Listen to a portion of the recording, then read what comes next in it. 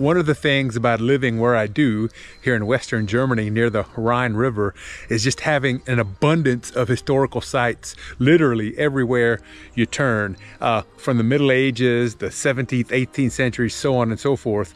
But right here, about a mile and a half from my front door, we have a little Roman ruin. So to me, that is just so cool. I leave my house, go for a little walk, and less than two miles later, I'm right on top of a little Roman house or uh, farm that was from the early from the early second century AD, um, and they just discovered this. I believe it was in the 1950s, and they they were digging it up. They suspect the archaeologist suspects that it was only here for about 150 years. That it was destroyed sometime around the the 70s in the third century AD. So I guess it was about 150 years old. But uh, so take a look at this. I mean, I just think this is really cool just to be able to walk to this on a nice afternoon like we've got here.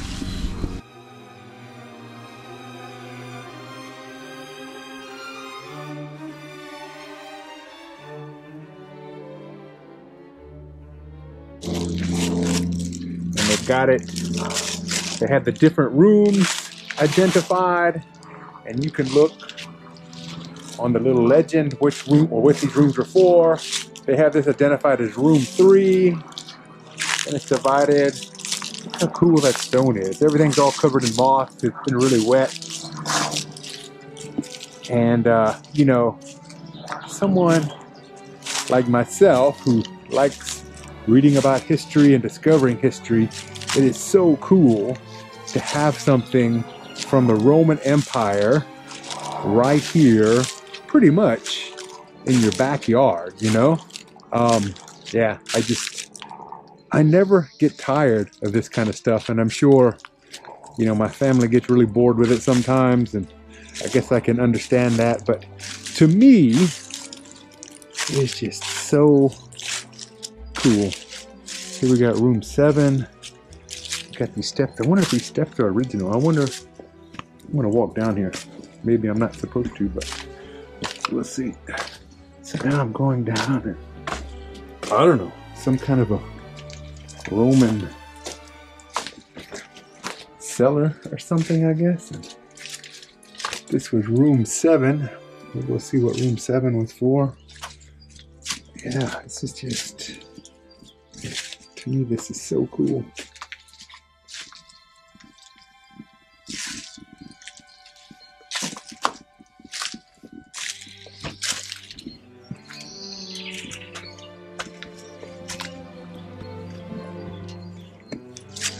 And look at this, what a nice view is that. Yeah, if I was a Roman and I was looking for a place to build a build a house, I reckon this wouldn't be a bad spot. Got a nice view, nice forest. We saw a big old deer down there in that field when we were walking up here.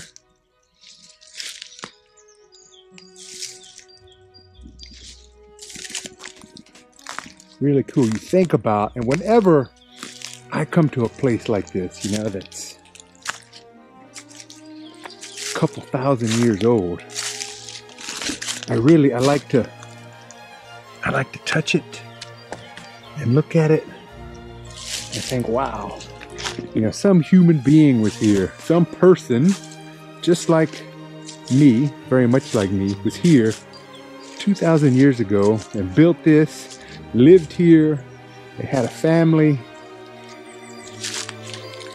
You know, not so much different than us. And to me, that is what's so cool about history. All right. Thanks for joining, and I hope you enjoyed this little adventure in the forest of Rhineland-Pfalz.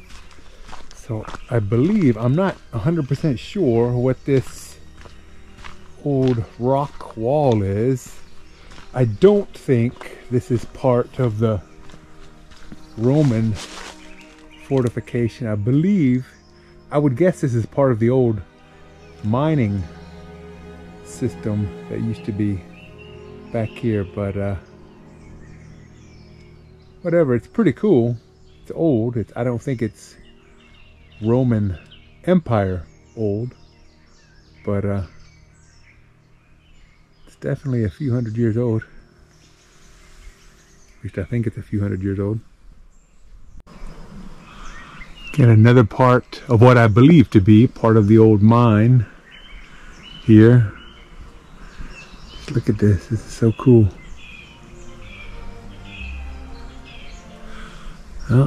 cool stuff around every corner. You just gotta have your eyes open for it. We came over to the other side of the valley from where we live and we don't come over here that often. We, we spend most of the time over like on our side of the valley, but it sure is pretty over here. We came by these uh, Roman ruins and we hiked up here. There's an old, uh, old abandoned mine here and the birds are really active and all the wildlife. It's just like almost like a, a Disney cartoon, I guess, the way the animals are all around. We see them. We've seen lots of deer and lots of sheep. And the birds are just singing like crazy. It's just really, really pretty spectacular.